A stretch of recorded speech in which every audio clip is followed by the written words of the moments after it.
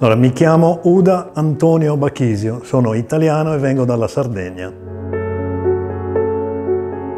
Beh, avevo insomma una situazione un pochino, insomma, abbastanza grave, diciamo, avevo solo 11 denti in bocca, con eh, problemi anche, penso, di piorrea, insomma, stavano già iniziando le gengive a, a rialzarsi, insomma, ecco.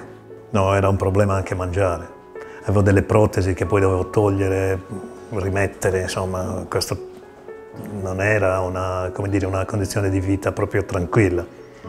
Ti creava un sacco di problemi, sì, non ultimo anche quando esci con gli amici, dipende da cosa devi fare, cosa devi mangiare, insomma, ti condiziona la vita.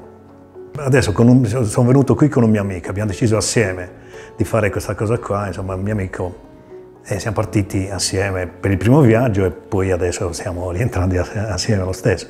Quindi è stata una decisione condivisa un po', avevamo tutte e due più o meno dei problemi simili, di più che meno, però poi abbiamo deciso tutte e due di affrontare questo viaggio un po' così, è vero, un po' alla cieca, eh, perché trovarsi in Italia, arrivare qua con le, dire, con le condizioni anche economiche, con le, le regole che, che, avete stabilito, insomma, è... però ripeto, oh, che il fatto che Palma sia sardo, questo per me insomma, ha inciso parecchio. Ecco. Quindi questa fiducia nel mio conterraneo, quindi ecco, questa. No, abbastanza, abbastanza buona devo dire, tutti molto affabili, tutti insomma molto disponibili. Ecco, mi trovo bene, mi trovo abbastanza bene, sin dal, dai provvisori che ho montato su, insomma. Eh, certo, un po' ti, ti devi abituare alla dizione perché in bocca è insomma, una situazione diversa rispetto alla, ai tuoi denti naturali, questo è chiaro, però insomma questi, questi, problemi poi si, man mano che passa il tempo, nel giro di un paio di mesi, due o tre mesi, poi ti abitui a parlare di nuovo, a evitare, insomma, ti abitui alla tua nuova condizione, ecco. Eh, sì, sono cambiato anche perché i miei denti, quelli di prima, avevano una, una forma diversa, no? Per dire. Però poi alla fine mi sono abituato a questa nuova condizione.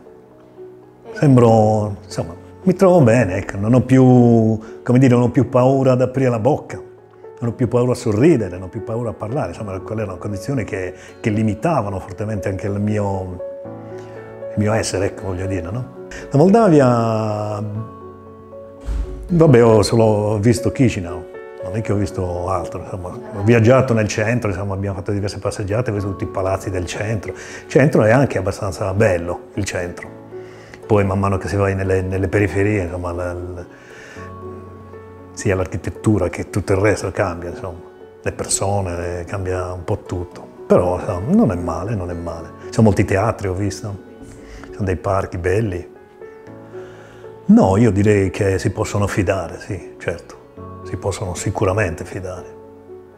Per quella che è la mia esperienza, io lo dico per la mia esperienza, poi insomma, i numeri fanno anche Insomma, nei, nei, grandi numeri poi c'è qualcuno che magari non è contento, ma io sono convinto che la stragrande maggioranza possano essere, si, si ritengano contenti, anche parlando con gli altri pazienti insomma, che sono arrivati qua con noi.